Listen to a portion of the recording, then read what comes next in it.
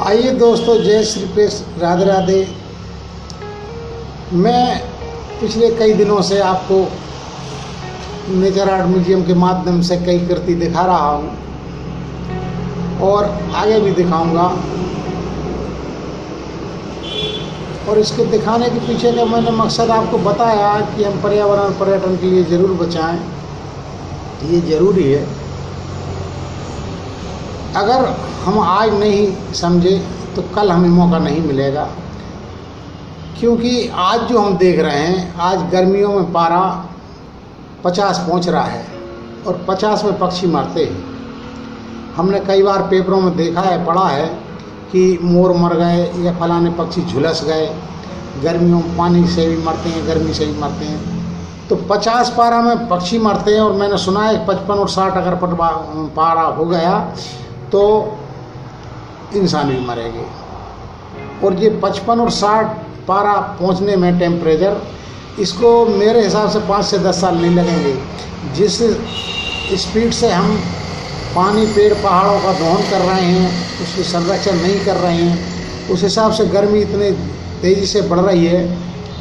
आज से दस बीस साल पहले ही हमने देखा था इतनी गर्मी नहीं थी, जो हम आज देख रहे हैं या झेल रहे हैं। तो हमें प्रकृति के प्रति ज़रूर सजग होना पड़ेगा और पेड़ ज़रूर लगाना पड़ेंगे। नहीं तो मेरी जो आँख देख रही है, आने वाले टाइम में आप देखना कहीं ऐसा नहीं हो कि जब कोई पेशेंट हॉस्पिटल में भर्ती होगा और वहाँ डॉक्टर कहेंगे कि इसको इलाज की नहीं, इसे शुद्ध हवा की ज़रूरत है। शुद्ध हवा चाहिए इसको तुरंत। नहीं तो हम इसमें कुछ नहीं कर सकते। जब डॉक्टर इस तरह की बातें करेंगे और उस आदमी को डिस्चार्ज कर देंगे कि इसको तुरंत शुद्ध हवा की ज़रूरत है। और जब पेड़ पानी हम नष्ट कर देंगे, कहीं नहीं बचेंगे तो फिर शुद्ध हवा कहाँ बचेगी? तो कहीं ऐसा नहीं हो कि 150 100 200 किलोमीटर दूर कहीं एक पेड़ खड़ा है। और जब उनका पेशेंट हॉस्पिटल से डिस्चार्ज हो जाएगा, उसकी जान को खतरा होगा तो वो सोचेंगे, चलो, उस वहाँ पेड़ सुना है। जैसे आज हम बात करते हैं कि फलानी जगह ऐसा है, वैसा है तो ऐसे पेड़ों के बारे में भी कहा जाएगा कि सब फलाने एरिया में एक पेड़ है। तो जब हम पेशेंट वहाँ लेके पहुँचेंगे तो वहाँ जाके हम क्या देखेंगे कि उसके आसपास कई पेशेंट पहले से ही हैं। और लोग हम वहाँ का नज़ारा जब देखेंगे तो लोग वहाँ लड़ रहे होंगे। एक दूसरे से ये कहेंगे कि भाई तुम्हारे को तो थोड़ी राहत है, हमारे पेशेंट को दो मिनट इसकी पेड़ की छाए में सुला लेने दो। तो हर आदमी को लगेगा कि हमारा पेशेंट सो जाए। तो इस तरह की ये तो मेरी कल्पना है, पर ऐसा हो सकता है। अगर आज आप लोग सजग नहीं हुए तो इस तरह हो भी सकता है।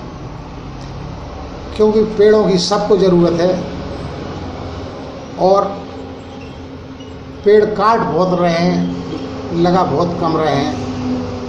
अगर लग उतने रहे तो ये हम जो पढ़ते सुनते हैं, ये तो कागज़ी कार्रवाइयाँ हैं, हवा में उड़ रहे हैं सब। इस तरह से काम नहीं चलेगा। आप हमें मिलकर खुद कुछ करना पड़ेगा। और ये पाँच दस साल का समय है ये करने के लिए। इसके बाद हम बहुत लेट हो जाएँगे, क्योंकि हम देख रहे हैं डेली वाहन डेली इतने वाहन बढ़ रहे हैं मशीनरी बढ़ रही हैं, पृथ्वी तो बढ़ नहीं रही है। पृथ्वी के ऊपर भार बढ़ रहा है। नित नई फैक्ट्रियाँ डल रही हैं, उनसे प्रदूषण हो रहा है, वाहन नए आ रहे हैं, उनसे प्रदूषण हो रहा है। और जो खेतों में से भी जो धुआँ हो रहा है या घास फूस जो जलाते हैं, इससे भी प्रदूषण हो रहा है। कितने तरह के तो प्रदूषण है, आज ध्वनि प्रदूषण है, वायु प्रदूषण है, और ना जाने कितने तरह के जहरीली चीज़ें, रसायन, पन्नी इन सबसे जो विनाश होने वाला है, वो हम ना देखें या हमारी पीढ़ी ना देखें तो इसके लिए हमें सजग होना पड़ेगा। हमें पेड़ ज़रूर लगाना पड़ेंगे। मेरी बात समझ में आए तो इस काम से मेरे से जुड़ें या आप लोग खुद भी करें। ये ज़रूरी काम है।